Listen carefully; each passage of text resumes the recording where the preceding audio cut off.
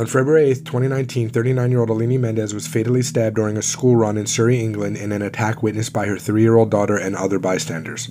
The assailant was her estranged husband of 17 years, Ricardo Godinho, who executed the attack with a kitchen knife. Aliny, who had separated from Ricardo a month earlier due to his controlling and abusive behavior, had taken a bus with her daughter to London Road.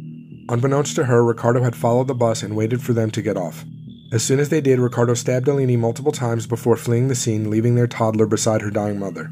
Witnesses described the stabs as quick jabs into Aliny's torso and neck and said it was reminiscent of a violent scene from a horror film. Aliny had texted a friend that same morning expressing her fear of Ricardo, but she believed he would not harm her in front of the children. Following the attack, Ricardo went to his workplace confessing to his secretary about the stabbing. Ricardo was arrested and eventually convicted of murder and possession of an offensive weapon. He had meticulously planned the murder as a retaliation for Alini leaving him and limiting his access to their children. He was sentenced to life in prison with a minimum term of 27 years.